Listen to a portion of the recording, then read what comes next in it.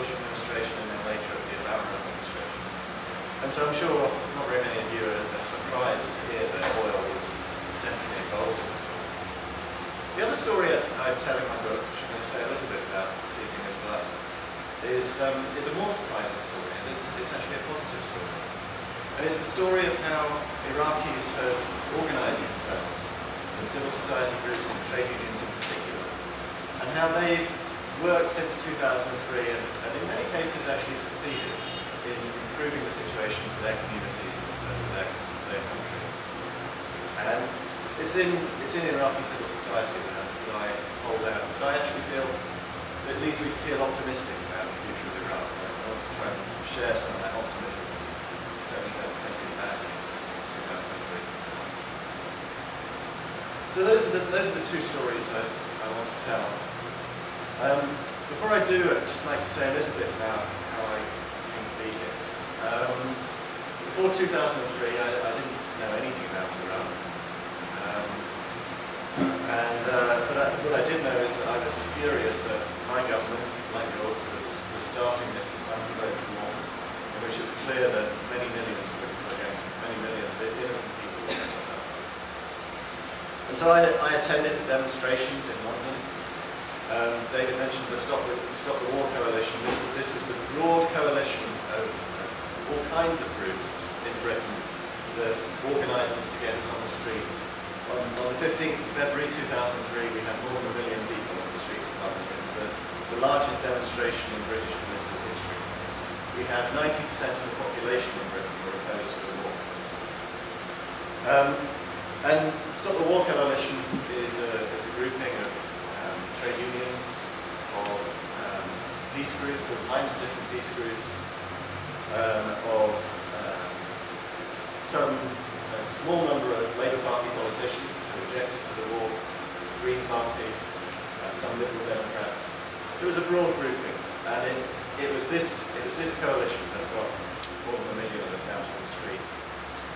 Um, when I was joining in these demonstrations, a, a lot of us were chanting "No blood for oil," and it was fairly obvious to me that oil was somehow at the centre of this, while our, our governments went to very great lengths to, to try and insist that it wasn't. And so I thought, well, let's see what happens next. What happens? What's going to happen to the oil? And I started following that. And it seemed to me like a fairly obvious question to ask. You know, if, if it was fairly obvious to most of us that oil was somehow involved and the government was insisting it wasn't, perhaps I could find out something that we weren't being told. And that's what I set out to do. Um, I, uh, I started out by just using the, the, sources of information that the oil industry itself was using. in their magazines, their specialist journals. I went to their conferences. The first thing I noticed was that the, um, the tone in which Iraq was talked about in those magazines and those conferences was completely at odds with in the newspapers. There was this palpable sense of excitement. They were saying, this is the big opportunity. And um, got me very interested. Um, and I started to get a sense of what the oil companies wanted in Iraq, where they, where they were pushing the, the policy towards Iraqi oil.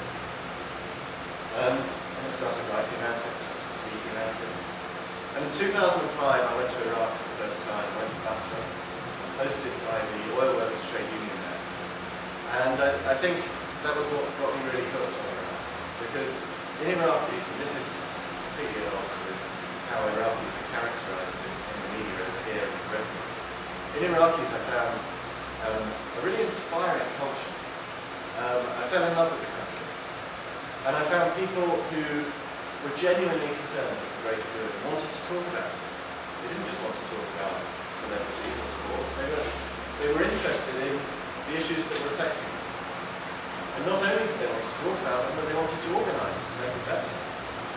And as an activist in Britain, these are, these are issues. This is something that I really struggle with. And so I felt, you know, here in Iraq was a, a civil society culture of which I was envious.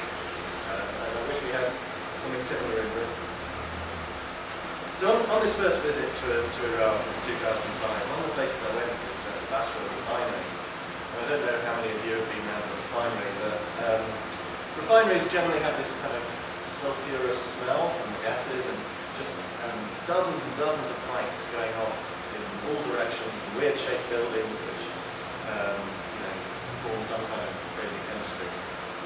Until I was walking down the Nassau refinery with one of the managers of the refinery and some of the refinery workers. And um, one thing that really struck me about Nassau refinery was just how old all the equipment was. They took us into the control room it, it looked like something from one of those 1970s movies. You know, it was this kind of beige paneling with um, lo loads and loads of buttons and switches and, and a, a, flashing red light outside. You know what I mean? Um, it just all felt really old. And as I walked around the refinery, I noticed that the pipes everywhere were corroded. Buildings weren't sparkling as they do in some, some of the refineries in, the US. As I walked around, I found myself starting to walk like this, and starting to, to hunch. And, um, and I said, uh, I, I, realized the reason I was doing it was that I knew that in, in refineries in, in Britain and in the USA, there have been a lot of accidents. Um, and accidents were caused by old equipment, under-maintained equipment, which when you put high pressure gases into it, it can explode. And so I started to feel nervous as I walked around Nassau refinery. And, then, and I, said to the, I said to the manager, a lot of accidents here. He said. Actually, the, the last re really serious incident we had was in 2003, it was in March 2003. One of those fuel storage tanks blew up. The reason it blew up was it was hit by a missile from an F-16. Since then, we haven't had any accidents. This was in 2005, two years after. And I said to him, well, you know, this, this kit is so old, you know, isn't, isn't it dangerous? And he said to me, listen, for the Iraqi worker in the refinery, the equipment is part of him, and he constantly checks it. And so the reason there, were, there, weren't, there hadn't been any accidents for two years in Basra refinery was because the, the workers in the refinery cared so much about their work, and they constantly checked their equipment. And this said something really interesting to me. So I, I thought, this, this is the opposite of how companies like BP or ExxonMobil think about their workers. In, in the Iraqi industry, the, the workers are central to, to how you run the operations, and through that they create a safe industrial culture. In contrast, in the Western multinationals, the workers are a cost, and they're a, what, what they try to do is, in order to maximize their profits, is they try to reduce these costs. And so I thought back to um, some of the accidents I've heard about in Britain, especially in Scotland, and in the USA. About four months before I, I, I went to Iraq, there was that terrible tragedy in, in the BP refinery in Texas City, in Texas, in which 15 workers lost their lives. And one of the reasons for that was that BP had consistently cut, in order to cut costs, it had cut the workforce. Some of the, I mean, the team that was responsible for training people in safety, it had been cut to less than a quarter of its size in the years leading up to that tragedy. And so I realized that here in Iran, there was an industrial model was quite the opposite of how BP or ExxonMobil or Chevron would, would run their operations. And I learned that Iraqis, partly for that reason, felt very strongly that their oil industry should still be run by them, by the Iraqis. One, one of the workers there, in fact, he said to me, look, we've, we've rebuilt our industry three times in the last 20 or so years. We had the war, the terrible war between Iran and, and Iraq from 1980 to 1988, um, where a million people lost their lives. And much of the oil infrastructure was destroyed during that war. We rebuilt it at the end of the 80s. And then Saddam Hussein invaded Kuwait in 1990 and there was the Gulf War in 91. And again, all, all of our oil infrastructure was flattened by the, the, uh, the, the attack by the US and its allies. Rebuilt it. We rebuilt it in the 90s in spite of the sanctions that were applied on Iran. And then in 2003, there was the war, and then there was the looting, and it all got destroyed again, and then we rebuilt it. And this, this Iraqi oil worker, he said to me, look, we've rebuilt this, this equipment, we rebuilt it ourselves, and we've rebuilt it three times. And that means we care about this equipment. That gives us a sense of ownership over it. It's not like we paid someone to build it for us. And so we care about what happens to it. And as a result of that, that feeling about the equipment, it's not something we'll gladly hand over to ExxonMobil or anyone else.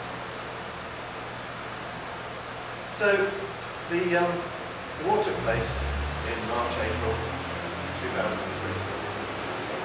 And um, in, in, the, in the days immediately following the collapse of the Saddam Hussein regime, fell on the 9th of April 2003. And in the days immediately following that, workers started to organise themselves. In fact, one of the first things they did, one of the, one of the reasons the workers started to organise themselves, and this formed the basis of re-establishing trade unions in Iran, one of the reasons was they said, well, our fellow Iraqis need us to work. Um, Otherwise, how will they survive? So workers in the water treatment plants and pumping stations for the water said, well, you know, Iraqis have to drink, so we'll go and start up the water facilities again. The managers of many of the companies there, they were members of the Ba'ath Party and they'd run away. So there were no managers ordering the workers to go in and start things up again. So the workers organised themselves and they, and they did it. The same in the electrical power, the same in the oil industry, because in the oil industry they knew, knew Iraqis needed fuel, and they knew that the Iraqi economy depended. So they went there and started up production for the benefit of um, their, their countrymen, the members of their communities.